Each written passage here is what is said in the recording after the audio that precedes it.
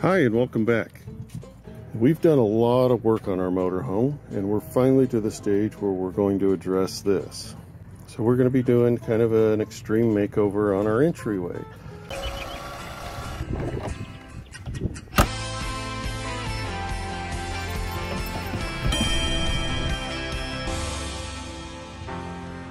Whether you've got a motorhome, fifth wheel, or travel trailer, whenever you've got guests, first thing that they see is your entryway. Starting with these god-awful step covers, and then we've got these vinyl treads.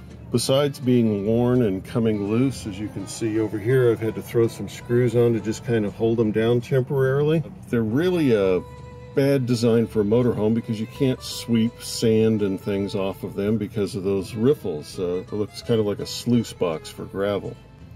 So we've got some new stuff we're going to put on.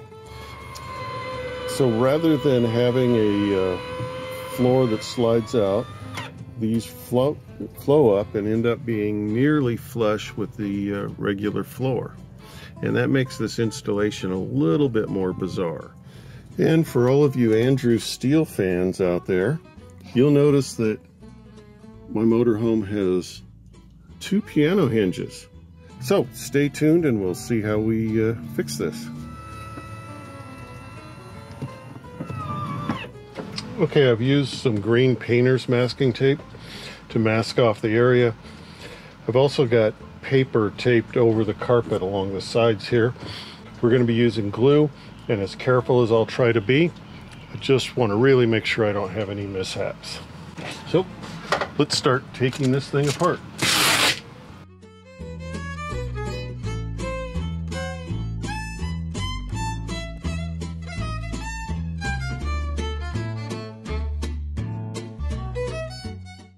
It's ready to come apart, but before we do that, since I've got to cut new pieces to replace this, I want to make sure that I don't mix them up. So we're going to number them.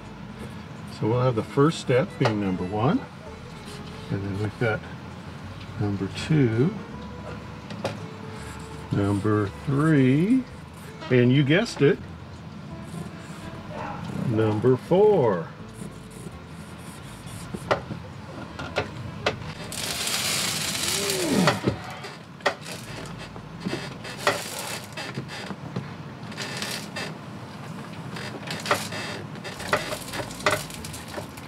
And this just takes putting, I'd say muscle, but it's more weight. Get it? All right. So number four is off.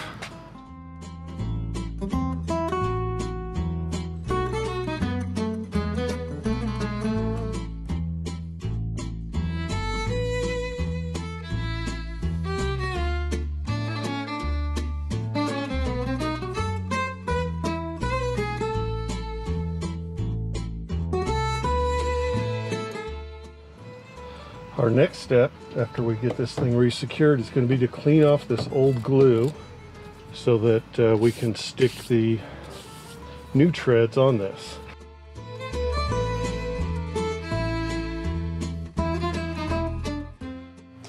Okay, so we're back in my garage. Haven't been in here with the camera since we made that uh, epic ice maker video.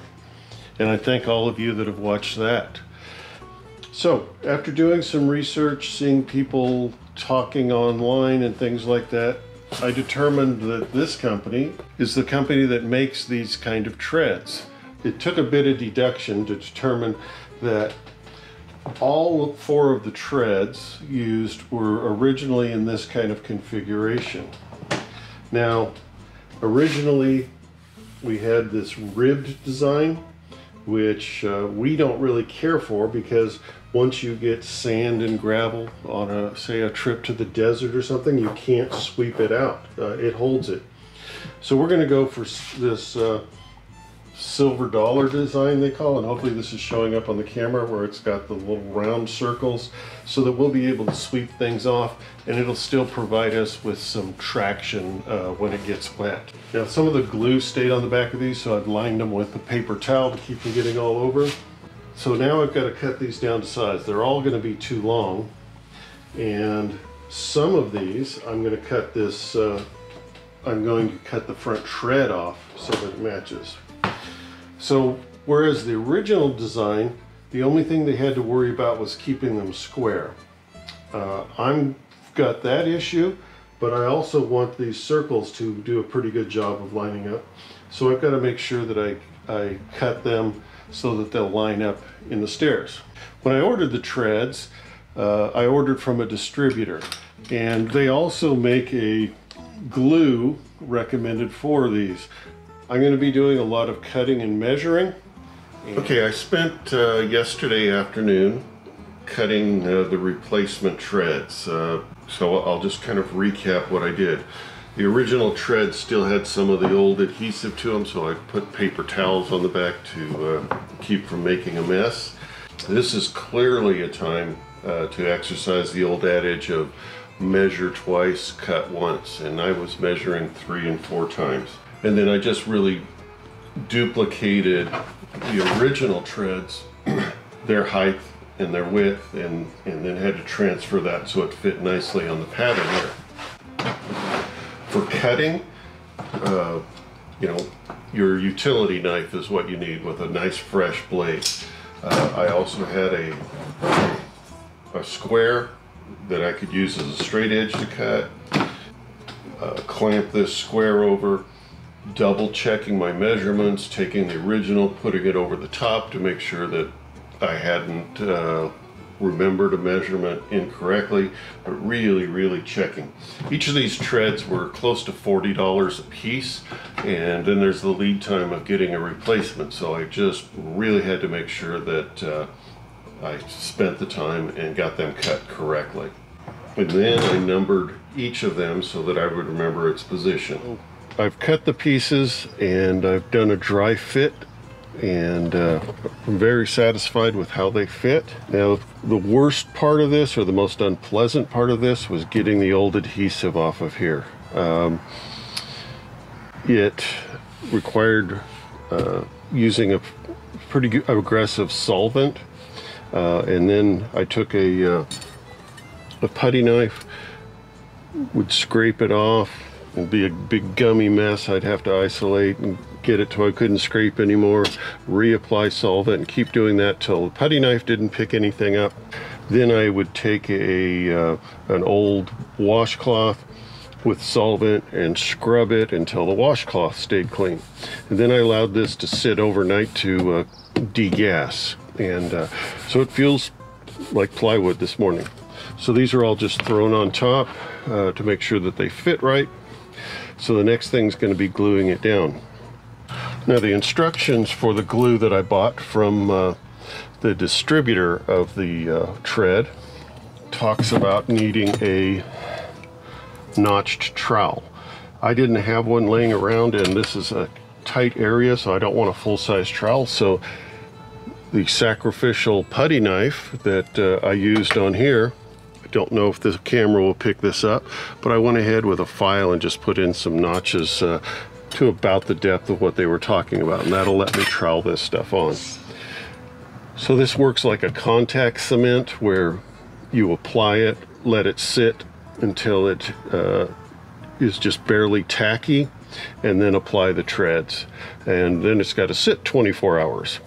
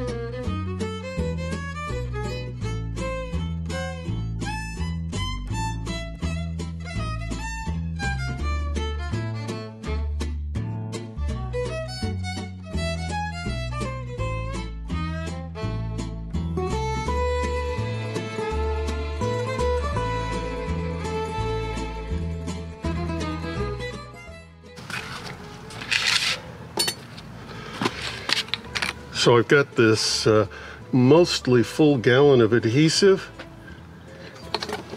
and I'll give this free to the first subscriber that shows up to pick it up.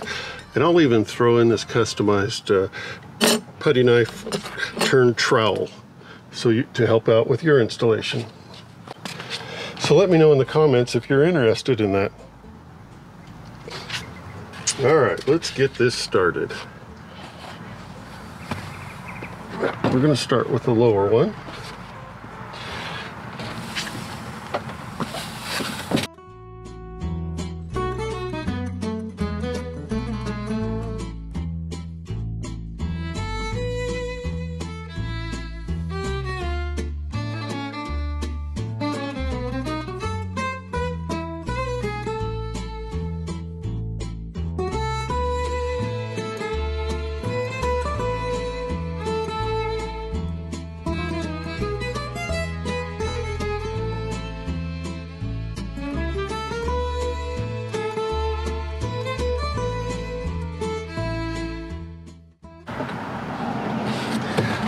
That out.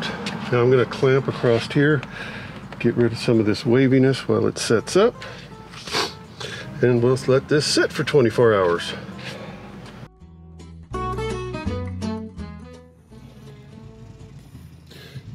Okay, and we're back. Yesterday I installed the flooring, and since then I've pulled out the masking. We removed those nasty covers, but look at the stunning stairs. Uh, I'm really proud of uh, how this came out and also impressed at how relatively easy it was to uh, do. All in, this took me somewhere between six and eight hours. Uh, there's some delays between steps as you have to strip the uh, old glue off and then give time for the solvent to degas before you glue things down. But it really wasn't that hard. Take your time, think about what you're doing, and measure again and again uh, I think you can have good results.